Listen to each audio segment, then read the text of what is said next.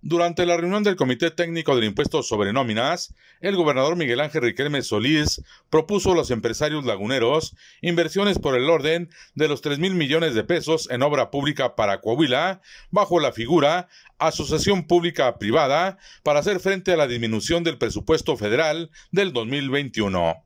Viendo las limitaciones del presupuesto de egresos de la federación y la actitud con la que se han manejado, que no hay cambios para ningún estado, la baja en participaciones. Voy a recorrer todos los, los comités de impuestos sobre nómina y la, el diálogo con los empresarios es poner sobre la mesa, no aprobar, ¿eh? no, no aprobamos ahorita, ahorita les expuse cuál era la combinación posible y bueno, pues la verdad es que no tuve negativas, sino al contrario, les pedí que en los próximos 15 días pudiéramos dejar listo este, este proyecto para poder eh, enfrentar el año entrante con obras de gran, de gran magnitud. Estamos hablando de casi 3 mil millones en el Estado.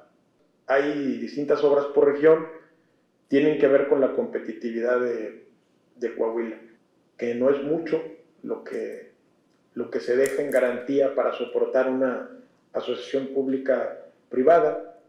Estamos hablando en la laguna de dejar 60 millones aproximados y de poder obtener arriba de, de 1.600 millones de, de, pesos, nada más en la comarca, en la comarca lagunera. Que hoy se los comenté, que no quería discusiones mediáticas, que si es no, es no, que si es sí, salgamos juntos todos a, anunciar cuáles son las obras que, que queremos y la condición es que los proyectos que nosotros seleccionemos se construyan a un año todos.